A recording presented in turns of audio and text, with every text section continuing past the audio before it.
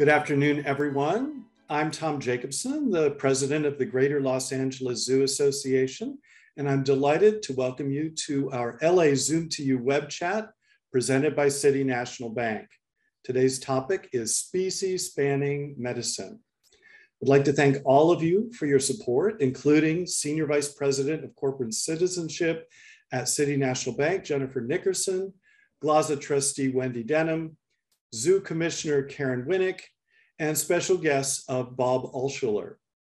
Today's discussion is being recorded and will be available in about two weeks on the LA Zoom to You event page, along with other past LA Zoom to You presentations.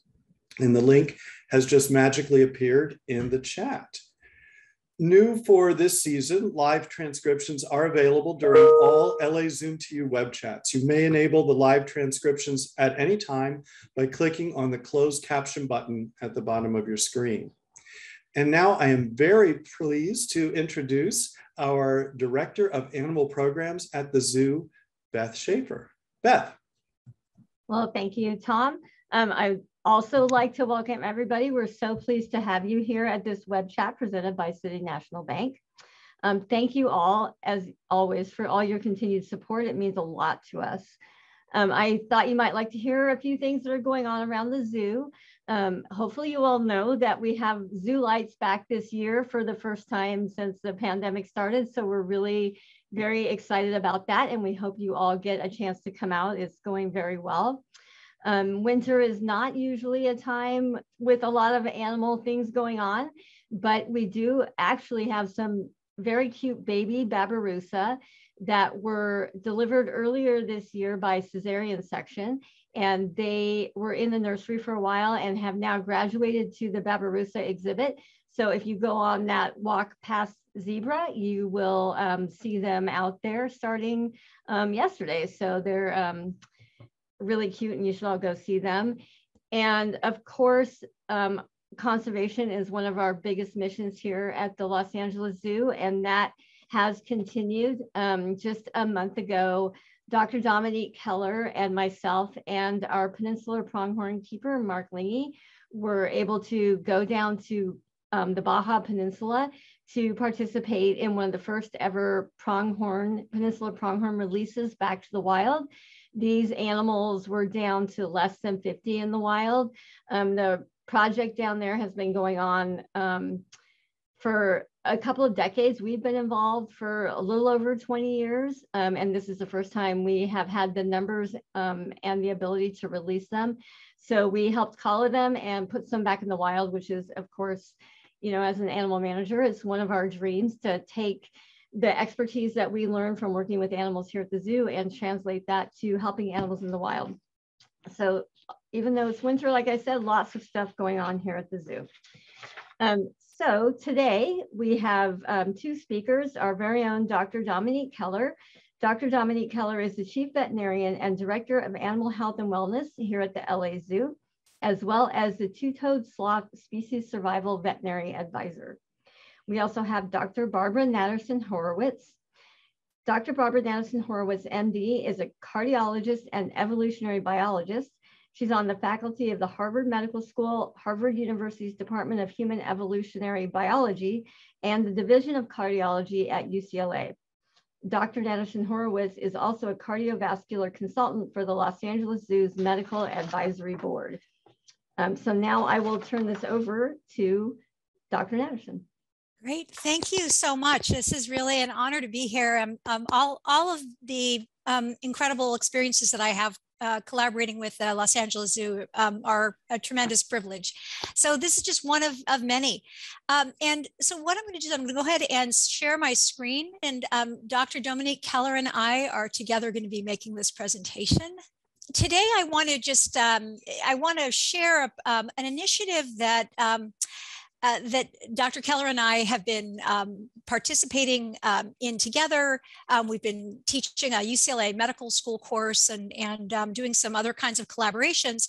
Um, and I, I, call it Female Health Across the Tree of Life. Um, and I'm going to give you a little bit of a, a taste of what it's about and, and, why I started it, and some of what I think are some exciting opportunities for uh, moving forward, uh, connecting the health of humans, animals, and the planet that we all share.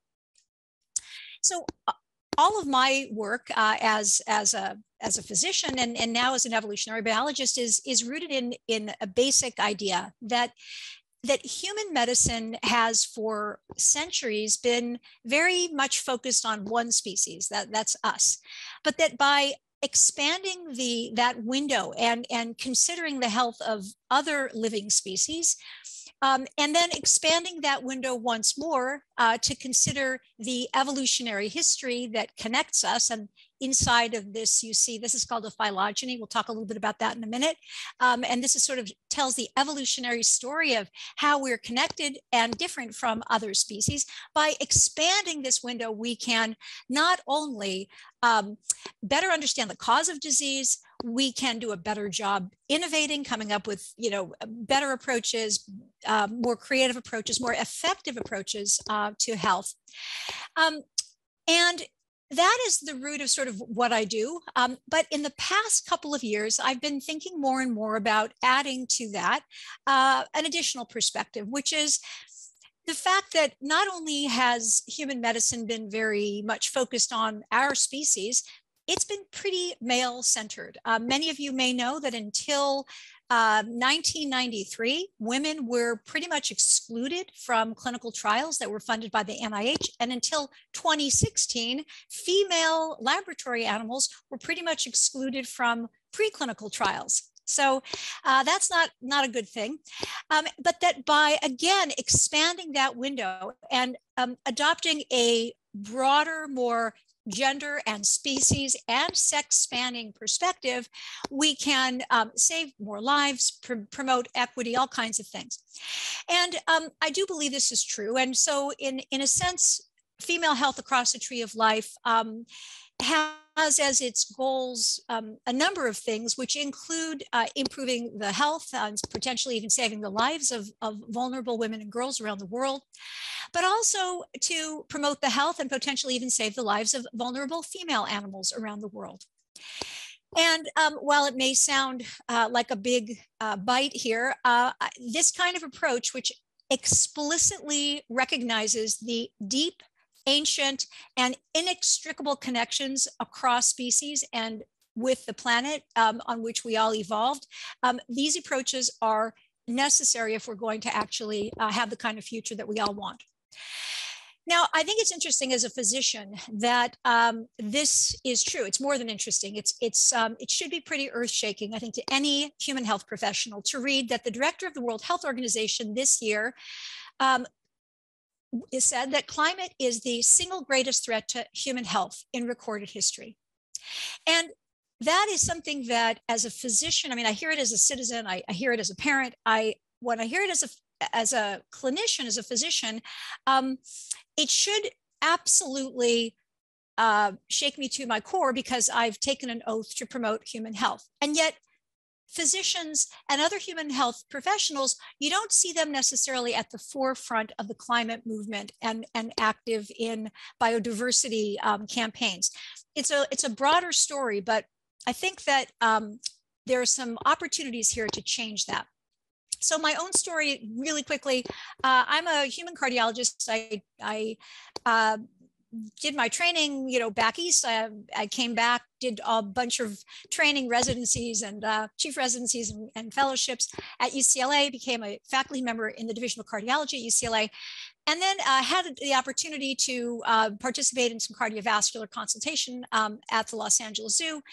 And uh, that was really in the mid 2000s, and it really opened my eyes up to all kinds of things, including um, many of the commonalities um, in vulnerability to pathology between human and non human animals, something which my very fancy medical education seems to have uh, pretty much overlooked. In medical school, we learned about zoonoses, sort of the infectious connections across species, uh, but, but very little about um, animals other than that, animal health other than that. I went on to, um, along with Kathryn Bowers, um, publish a couple of books. The first was Zoobiquity. I founded conferences to bring together academic veterinary um, uh, experts and academic physicians. And, um, and, and that was you know rolling along. But i want to focus today on female health and share a, a, a, story and i don't remember the exact year that this happened but um, sometime in the late 2000s, uh, I was, you know, I would occasionally get a call from one of the veterinarians at the LA Zoo asking if I could come and do some cardiac imaging. And one day they called um, about a lion, and she had, it was, it, many of you probably know this, she was an elderly lioness who had a collection of fluid in her pericardial sac. And the reason that this is important was, um, in terms of female health, was when I asked why um, why the doctor thought that there was this fluid, um, I was told that it could be metastatic breast cancer, eh, which sometimes can cause uh, collections of fluid in the lungs and even in the in the pericardial sac but because big cats in captivity have higher than expected rates of breast cancer. Now this was something that you know uh, at the time even though I was having this experience at the zoo, I hadn't really connected female health, women's health issues to the animal patients that I was um, given the privilege to participate um, in the care of. But in fact, um, this breast cancer connection was what would become one of many, many, many um, connections that I learned uh, exist between females across the tree of life. And, you know, it's true that a similarly dense nexus of connections link the health of males across the tree of life. But um, for a number of reasons, um, I'm focusing on, on female health for now. Um, one of those reasons is that even though we know that uh, climate change and other accelerated anthropogenic environmental changes are adversely affecting the health of all humans and, and all life on Earth, women and girls appear to be disproportionately impacted. And so, for that reason, um, we are starting with female health. And so, today, um, Dr. Keller and I are going to spend a few minutes just sharing um, some interesting examples of ways in which female animals. Uh, female human animals and female non-human animals may share strengths and vulnerabilities. Uh, so this is a picture of an actual coal miner uh, holding a canary. Uh, this is from the early um, early 1900s in the UK. And as you guys know, uh, they these miners carried canaries to uh, detect small amounts of carbon monoxide, which would then alert them um, to, to human danger. And this concept, of the canary in the coal mine, exists uh, and has existed for a very long time. But as we you know, impact the planet um, in all kinds of negative ways. And the boundaries that used to sort of separate human from animal environments, as that boundary gets blurred, increasingly the kinds of environmental exposures that are affecting us are also affecting other animals with whom we live. And when you have shared exposure, and you have shared vulnerability that is when you you as a species are vulnerable to the same problems then you have a situation where every female animal including every woman and every girl has become a, a canary right? And and the earth is our shared planetary coal mine. In other words it's not just what non-human animals can help us um, know about dangers to our species, we, our health, can help inform potential dangers to females of other species. And so let me spend a, a, just a minute or two, maybe maybe five or so, not much, um, talking a little bit about this idea of, of shared vulnerability. So do human and non-human female animals share health vulnerabilities? And the answer is Absolutely, yes. Not all of them, right? There are some that are unique to us, there are some that are unique to other species, but we overlap a lot. Um, what you see here is a paper that is actually about to be published. Um, these are uh, phylogenies and, and uh, not to get too deeply into it, but phylogenies are, are models that evolutionary biologists build to show the relationship between species and their characteristics. And you can see um, uh, you see, this is one for breast cancer, and these are all mammals, of course. And I was able to find examples of breast cancer in nearly every one of the mammalian lineages. now, obviously, the vast majority of, of female mammals are not going to get breast cancer, but this vulnerability exists in this very wide, phylogenetically widespread way. Um, ovarian cancer, you can't really see, but there are cases of ovarian cancer not only in other mammals, but in birds and in reptiles and amphibians and even in fish and, and so on and so forth. So, so yes, we do share vulnerability. And the reason we share vulnerability is, is common ancestry. So a whistle stop tour through evolution. And um, let's imagine that the entire history of the Earth, remember the Earth started about four and a half billion years ago. If the entire history of the Earth was an airplane flight from LAX to JFK, okay? If that were the case, life um, would start at about sort of between Nevada and New Mexico. We'd have photosynthesis over Colorado. And it wouldn't be until the western part of Pennsylvania that we would see multicellular animal life. And it, what I think is just um, amazing is that it would not be so here's Pennsylvania, right? Um, it wouldn't be until about 570 feet before touchdown in New York that our species shows up. And if you take Pennsylvania like that, and here's 600 million years ago, and you draw this sort of, we call this an x axis, right? This is 600 million years ago, and this is the present. All of animal evolution has happened during this period. And we humans emerged about here, which means the vast majority of our physiology is shared with the other animals with whom we share the earth. And this concept of common ancestry is important. This is a, a different kind of phylogeny, but if an animal is you know, if if our species is vulnerable to ovarian cancer and birds are uh, are vulnerable to ovarian cancer, and so are reptiles and amphibians and fish, it, one can um, conjecture that our common female ancestor also had this vulnerability, and therefore the health of female fish and female birds and other female mammals with whom we share the earth today, that is highly relevant, highly salient for human health, for women's health. So, why a group of beluga whales in the St. Lawrence estuary in Canada developed high rates of breast cancer and ovarian cancer uh, 20 years ago. Why that happened? It turned out to be very relevant to um, the risk of breast and ovarian cancer to the women living there. Why some great apes are more and some great apes um, less vulnerable to endometriosis is significantly relevant to female reproductive, human female reproductive health. Even psychiatric issues, you know, postpartum depression um, is obviously a very significant issue. And um, postpartum depression is, we know that there are, there are a number of factors, biological factors, hormonal factors, psychosocial factors. Um, but it turns out we are not the only species where sometimes a new mother will um, have a behavioral disturbance and in some cases not nurse her young. Um, I'm actually writing a paper on this right now. Um, many of these animals respond to oxytocin, you know, the hormone, the bonding hormone. In any event, these are um, interesting, um, potentially overlapping, mechanistically related phenomena, vulnerabilities.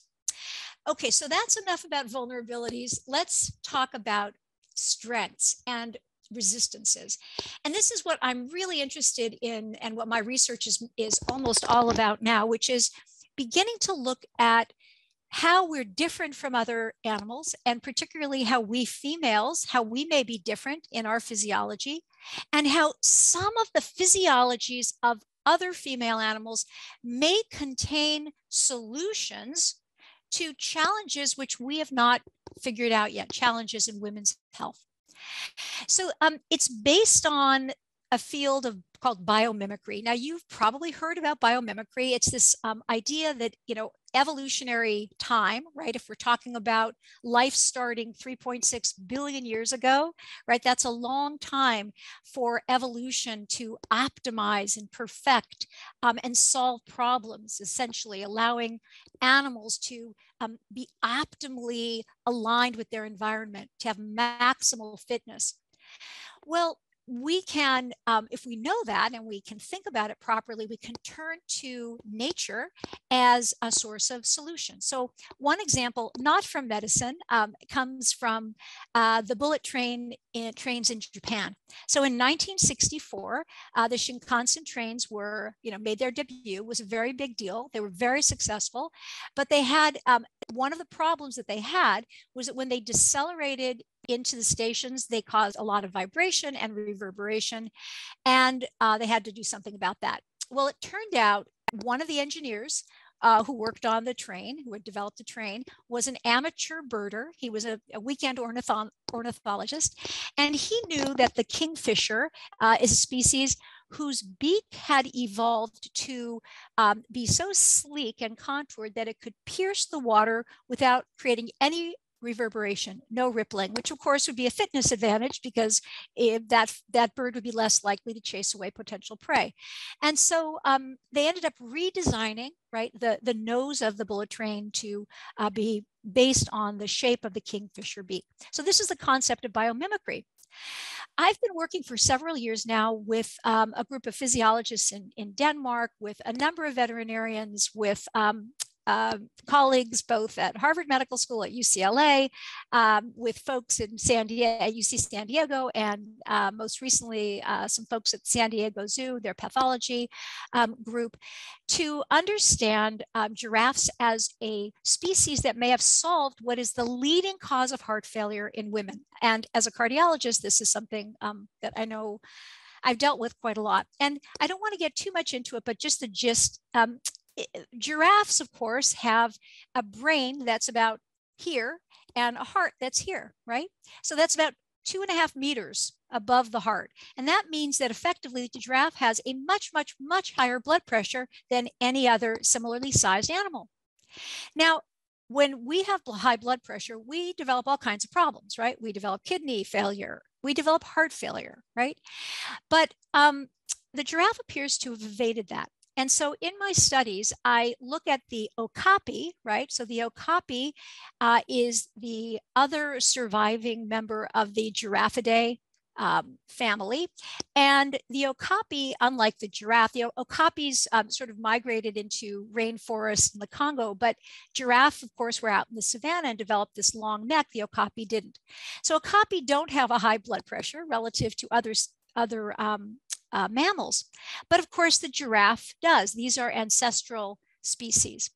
And so what we see is in giraffe hearts, um, by the way, the, the reason that the that are typically given for the long neck um, are the advantages of access to foliage. Um, there may be some issues with sexual selection, and even the ability to scan the horizon for predators. All of those would be um, fitness advantages, right? They would be selected for because they would be enhanced survival. But none of them would make any difference if the giraffe's heart thickened in response to that higher blood pressure and caused that giraffe to have the kinds of symptoms that my patients who have high blood pressure and a thickened ventricle experience, which is breathlessness and exercise intolerance. These are a couple of examples. There may be some physicians on um, uh, today. And if you want to talk about left ventricular hypertrophy, how about that? So that's LV, that's left ventricle, and that is the cavity size, right? So these are really very thick ventricles, and yet they can run 40 kilometers an hour. Um, so clearly there are some adaptations uh, that allow them to tolerate this thick ventricle without a compromised uh, exercise. Um, the other project that's really gaining steam now is um, thinking about pregnant giraffes um, as a natural animal model for high blood pressure during pregnancy. So the pregnant giraffe has a very high blood pressure relative to other mammals. And uh, as many of you know, uh, high blood pressure during pregnancy, um, including something called preeclampsia, is one of the leading causes of both fetal and maternal mortality in our species. And so how does the giraffe um, avoid these complications? Um, we, I have a, a, wonderful team of mostly women. We have a few um, men participating in this project, but all over the world. Um, and we are um, slowly um, developing hypotheses and doing some investigation to understand how how that happened. And, and maybe one day we will be able to derive inspiration from the um, amazing resilience of the uh, pregnant giraffe um, and, and help uh, women who are struggling with this issue. I'm going to um, stop talking and uh, turn it over to Dominique. Yep. Hey, hey, Dominique. I see you. We're tag teaming tonight. So, Barb, um, I'll just go through this, and then if you want to click to the next slide. So, if you aren't already wowed by female animals, uh, then well, you will be now, because we're going to talk about a few things that just to me still make me think animals and humans are amazing. So, for example, here are two species, two different species that don't actually experience menopause. So, we'll talk about menopause in a few slides from now, but let's talk about these two animals. These are two groups of animals, very diverse, that are able to reproduce well into advanced age. And that's important because that's something that perhaps we can learn from to enhance human and animal medicine. The Greenland shark, for example, is one of the animals that I'm continuously fascinated by. They're one of the largest sharks out there. They're extremely slow. They live a really long time, but because they live so deep in the water, it's very difficult to study them. The estimates right now are that these animals can live to be anywhere from 250 to 500 years and may not even reach reproductive um, adulthood basically until they're about 130 to 150 years old.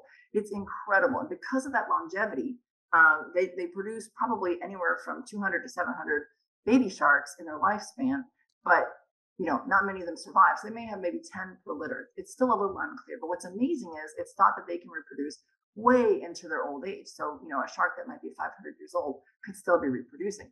Elephants are very similar. They can reproduce, we think, up until their 60s if you're an Asian elephant, and maybe a little bit a little bit less than that if you're an African elephant. Uh, reproductive fertility does decrease as you get older, but there's no evidence that these animals actually cease being able to reproduce, which is what we call menopause. So I think there's a lot to be learned there. Um, and so this is just you know fascinating how these animals can do all these things. So we'll skip on to the next one, which is Barb. So tag team it back to Barb. Okay. Um, oh, here's a, a, great one. So osteoporosis, uh, which you know is a osteopenia is bone loss, and then osteoporosis is a softening of the bones. And um, for women, you know, once we have reached post reproductive age, and even even when we are still cycling, um, if there are periods where we, we don't ovulate, then our bones are deprived of that monthly estrogen that really helps strengthen bones. Well, it turns out um, this was a product of a, uh, one of my Harvard classes. Um, one of um, our student groups came up with this great um, hypothesis. Um, we, they, they challenged themselves to identify female who uh, in who ovulated infrequently. And um, Dr. Keller, correct me if I'm wrong, but as I understand it, female uh, giant pandas ovulate maybe once a year, a kind of like a a, a, a 72 hour window of tiny window it's incredible. But but and yet they have very good um, very strong bone density. We actually have a paper about um, about their bone density. So how does that happen? And um, not going to get into um, my students wonderful hypothesis uh, but you can imagine that it's if we ovulated only once a year right during our reproductive life uh, we would be faced with some significant um, osteopenia and osteoporosis. Okay dr keller so we're going to change topics yet again, but it's still about reproduction. So my background is actually in reproduction, and kangaroos happen to be animals that are probably some of my, my favorites in the whole world. I could probably talk about kangaroos all night, but I won't. So just for the next slide, uh, we're going to talk about a concept called superfecundity. And in, and in terms of kangaroos, what it probably means more accurately is the ability to produce more offspring than they're going to survive. And why is that important if you're a female kangaroo? Well, if you've been to Australia or you read the news, you know that Australia is a continent that is very, very challenging to live in. Most of the, the, the center part, for example, is very dry. So red kangaroos tend to live in desert areas. Other kangaroos, like the grays, like the ones we have here at the zoo, tend to live in more forested areas. But the one thing the kangaroos have involved together to be able to sort of face well is this trial by environment. So fire, drought, extremes of temperature are things that kangaroos have adapted to to live with. And what one of the ways they do that is by being able to maximize their reproduction. They actually reproduce very slowly, but they have several strategies that are fairly unique in combination. One of them is that they can actually, while pregnant, um, because the gestational period of a red kangaroo is about 33 days, you know, they're born about this big. Um, so as soon as she delivers that baby, which has to find its way to the pouch, she becomes fertile again and is usually mated and will then start having another baby. But the baby is like a little 100 cell embryo that then arrests. That's called embryonic diapause. And as long as she's nursing that baby in the pouch, that little tiny embryo is going to be in stasis in the uterus until it's potentially needed or mom's finished nursing the other baby that's in the pouch. She can also, while she's nursing one baby in the pouch, have another one that's called the young at foot, which is where the baby's out of the pouch but still nursing. She makes two different kinds of milks to support those babies. Now, where does this come into in terms of things like climate change and environmental pressures? If, for example, things get tough and mom can't nurse anymore, she's going to probably have to sacrifice the baby in the pouch to survive herself, which will then activate that little embryo that's in reserve so that she can start the next generation, hopefully with better resources when the drought ends or the fire season is over. Incredible, incredible resilience in these animals. I hope you see them in a different light the next time you see them here at the zoo. So our next slide is something different. I keep changing topics because there's just so much to cover. We mentioned menopause and how you know the sharks that I talked about, those Greenland sharks and the elephants, don't seem to go into menopause. Well, here's a species that does, and this will surprise you. We think there's maybe five different species of animals, including humans, that actually go into menopause, where you stop ovulating and you continue your life. So, uh, and not only that, but usually a productive life. And recent studies have shown that um, female orcas actually do this, and it's to a huge benefit to their offspring and their offspring's offspring. It's something called the grandmother effect. If you're uh, a grandmother orca and you stopped reproducing, but you're the pod leader and you've got your daughter and she's got her kids, those grandchildren of yours have a higher survival rate if you're still alive, productive, and helping them around. That grandmother effect is seen in humans, but it seems to be a thing for orcas. And the key is that that, that grandmother orca is she's best serving her population, her pod, if she's no longer reproducing because she doesn't have to worry about the pressures of reproducing, which are huge. She's not competing with her daughters or other females in the pod. She can focus on leading them to where food is is you know available, which is really important as resources are diminishing in the ocean. So super interesting, and we all can relate to grandmothers, right? So I think go orcas. And then the last thing is to kind of tie it back to what we started off with with Dr. Um, Tedros talking about the climate and health and you know how that affects us. So I'm going to finish off my little like tour through the animal kingdom and the amazing things that these animals can do. We're talking about female pupfish. These are tiny little fish that are native to the southwest here. In fact, there is a population in the Salton Sea. These guys um, are able to reproduce, and you can see in the picture that follows, they're just tiny. They're about this big. They live about a year. Um, and they have about three reproductive seasons in that year. And these females and the males and all the babies are able to live in extremes of temperatures up to 100, 114 degrees Fahrenheit. There's a population that lives in um, a Mexican hot spring. They don't have a choice. It's always about 114 degrees in there for them. Um, but they're able to to live and reproduce at those temperatures. And that's something that we could potentially live for because or learn from because if you think about it, climate change is going to affect them severely. They're already living at the thermal extreme. They don't have a lot of leeway. It's important for us to know how to help them survive and perhaps they can teach us how to survive as the environment changes. All right, Barb, back to you. Thanks, guys. Oh, it's amazing. I mean, God, I, I I could listen to you. Uh, anyway, it's uh, it's so interesting. Um, I'm going to wrap things up and just um, I, I, have this term. I, am actually using this for a project, a sisterhood of species, and and I really do think that there is um, there is this sisterhood of species. There's also a brotherhood of species. There's lots of ways in which uh, we're connected to other animals that we might not have thought about before. Um, but there is this sisterhood of species that that connects us through both our vulnerabilities and our strengths. And um, it's uh, something which I think should be a source of awe and, and responsibility. Um, so who better to end the talk with than um, a, with a quote from Rachel Carson. And of course, Rachel Carson, Carson launched the modern environmental movement uh, with the publication of Silent Spring in 1962.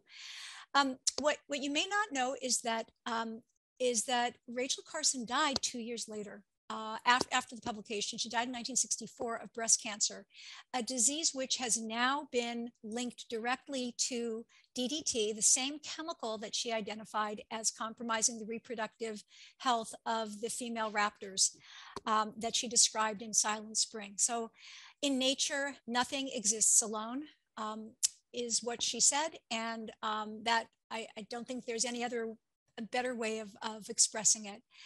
Um, so I'm want to again just really thank the Los Angeles Zoo um, and Dr. Keller for giving me this incredible privilege uh, to um, collaborate and learn and um, would love to take questions if there are any. Thank you.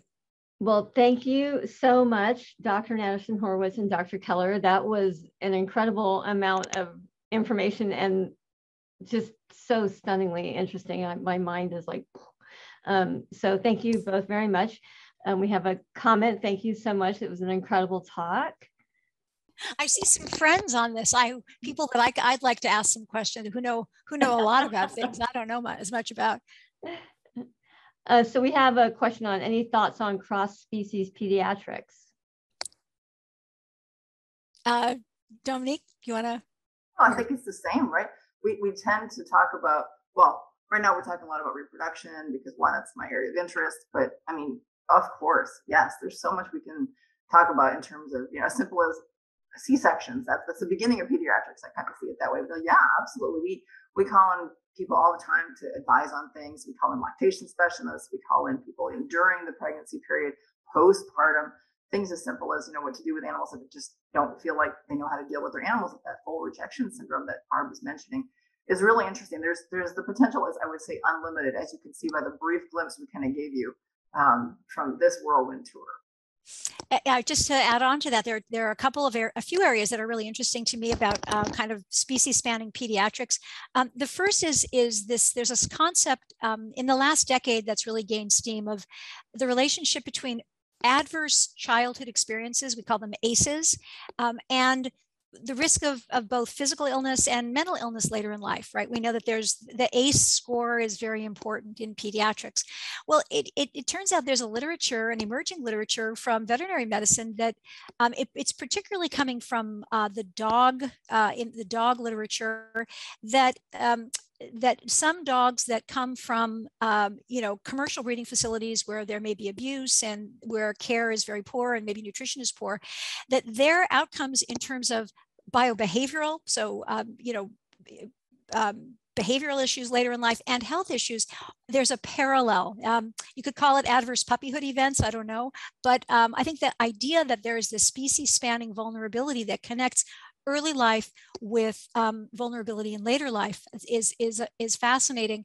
Um, and the other thing, of course, you know, I, I Kathryn and I published a book about comparative adolescence, and uh, that there, there, was so much research, so many years of research, and was, one of the most stunning things to me was how similar puberty is for uh, not just mammals, but um, even going back to reptiles. Just the the sequence of um, you know, I don't know how, how much of a, of a PG crowd it is, but um, all, the, all the exciting things that happen during puberty are remarkably overlapping with other species.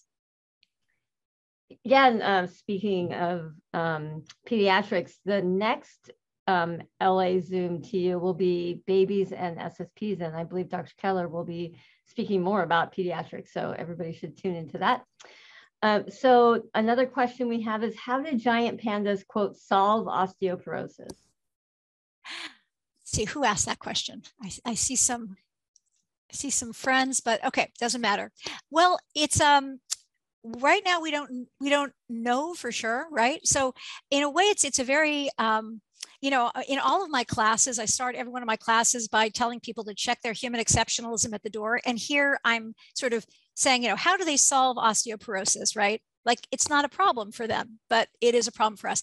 But uh, one of the hypotheses has to do with bamboo consumption and the phytoestrogen that um, is in is in bamboo, and it particularly some of the microbiome that's associated with uh, native bamboo species that are eaten by, by pandas. So um, they have a different, uh, they basically have a different metabolic pathway that um, this hypothesis um, uh, invokes this different metabolic pathway so that ultimately they end up with uh, downstream exposure to the component of estrogen that's important for laying down bone. So that's it's a hypothesis though. We that's not a that's not a published paper. And sort of on the same lines as that, how close are we to seeing some of these issues that have been quote solved in animals solved in humans using what we've learned from those animals? Um, I love that question. It, this is in its infancy. I uh, I feel like this is my life's work, and I'm really. Um, it's wonderful uh, to be kind of out there doing some of this work as a um, quote unquote pioneer. But the challenge is it, it it's not it's not been done much at all, and so a, there's a lot of um, education that's required of my colleagues, of, of my colleagues who I admire so much, because our, our education, our medical education is so uh, traditionally devoid of, of, of knowledge about the physiology of other species. And so, and I understand why there hasn't, you know, the case at that point in the past wasn't made for these connections. But the course that um, Dominique and I have been teaching, um, uh, our goal is really to change that. Eh, to make, you know, because the more that human health professionals know about animal health and not just the diseases that they get, but the incredible physiology. I mean, the stuff that you heard today. Um, and the more you know they're steeped in that then they can be better at thinking about um, solutions the the giraffe uh, the giraffe paper that project is moving along we we i don't anticipate having a solution to um, what's called hfpef heart failure with preserved ejection fraction in the next year. But um, we're hoping that this approach will produce um, approaches that will be effective someday. Uh, so the next question, what is your best working hypothesis regarding the mechanism of cardiac hypertension tolerance in pregnant giraffes? Okay, who's asking that question? That's, That's another great. Oh, hello, Dr. Habib. Um, yeah, so well, here's what's really so much fun about this. So as as you know, there the um, fa- this fantastic giraffe genome. There was a giraffe genome that was published in 2016, and then it's about like within the last year, um, Chang Liu's group they published this like beautiful new um, uh, genome, and what we basically see is that the groups of genes that are um, responsible for um, that are involved with ACE2, so angiotensin 2, are specifically different in giraffes versus okapis. And so there are a couple of the, the hypotheses that we have, and I can tell you more about it, are derived from that genomic observation, and also um, what my group of summer undergraduates, right? These are undergraduates um, identified. We were reviewing okapi and giraffe placentas. We were looking at the villi, and we noticed different patterns um, in the binucleate cells. So I can share more with you later, but um, come, you should join our group and you'll help us. You'll help us crack this this case because it's so it's so much fun it's so interesting and collaborating across disciplines with colleagues around the world it's just um, it's it's wonderful. Um, and this is a off-topic question for dr keller but um, has the la zoo started vaccinating any animals for covid-19 oh we sure have. Yeah actually we finished the first round um, for the first group. We were able to get a, a set amount of vaccine we actually finished that in october um, so we're expecting to get more from the group. Uh, the, the company's called Zoetis. They make animal vaccines. So to be clear, we're vaccinating with an animal vaccine, not the human vaccine. There's there's some talk about whether it would be you know useful to use human vaccine in animals, and I think we've all decided that's not ethical at the moment. There's just still too many people who need the vaccine themselves that it's the human vaccine. So yes, we actually have started the vaccination process, and as soon as we can get more, because the company is donating the vaccine to the zoos in the U.S uh, we will complete the vaccination process for the animals that haven't gotten the vaccine yet. So we're very excited that that uh, was a huge, huge thing for us to get that process done. Thanks for asking, actually. uh, well, thank you both, Dr. Natterson-Horowitz and Dr. Keller. That was a really great presentation, and we're going to close with that. Um, so I will now turn it back over to Tom Jacobson. Thank you so much, Beth, and thank you, Dr. Natterson-Horowitz and Dr. Keller. That was an amazing talk and I learned so much and I want to follow up on so many of the topics that were broached today. It's work like this that is at the core of what we do at the LA Zoo. Another important aspect of our work at the zoo is conservation. Recognizing the rise of two urgent threats to our communities, rampant biodiversity loss and social inequity, this summer the zoo launched its first ever conservation strategic plan that brings the zoo's unique strengths and expertise to bear on these challenges. At its core, the CSP is a pledge to protect plants, animals, and the habitats we share through actions that also advance social and environmental justice. Its ultimate goal is to create a just and sustainable world where people and wildlife thrive together. Very similar to what Dr. Natterson-Horowitz was speaking about just now. The Greater Los Angeles Zoo Association led the effort to provide the seed funds to make the conservation strategic plan a reality. This is what we do to provide our partner, the Los Angeles Zoo, with the resources to make their dreams a reality. This past year, your generosity made a huge difference in our effort to bring back the zoo experience you know and love. Your gift is an investment in the future of GLAZA, the LA Zoo, and a healthier world for us all. Moving the conservation strategic plan forward will take a collective effort from all of us, working together to drive change. There's a link in the chat to donate to GLAZA's annual fund, and I hope you'll make a gift today. I'd also like you to save the date for some upcoming events. On Saturday, January 22nd is our Searching Safari. And this is an event that is returning um, after the pandemic has eased a bit and uh, now returns with an emphasis on animal nutrition. Safari Society and corporate leaders are invited to find out cool facts about the zoo's on-site commissary and to learn how animal nutritionists provide the zoo's residents with healthy and balanced diets 365 days a year during this exclusive zoo scavenger hunt. There will be special animal feedings and keeper talks, and that will happen throughout the morning. And there will be a light breakfast provided for the human attendees. The next LA Zoom to You is Thursday, February 3rd, 2022 at 4 p.m and the topic will be drills and mandrills. And the speakers will be our curator of mammals, Candace Clemente, and director of conservation, Dr. Jake Owens. For more information about upcoming events or for assistance, please contact Robin Savoyan, Associate Director of our annual fund. And I'd like to thank everyone for attending today's LA Zoom to You web chat presented by City National Bank. I learned so much. I'm just uh, knocked sideways by everything that uh, was presented today. Come see it all in action at the zoo. We hope to see you here soon. Have a wonderful evening.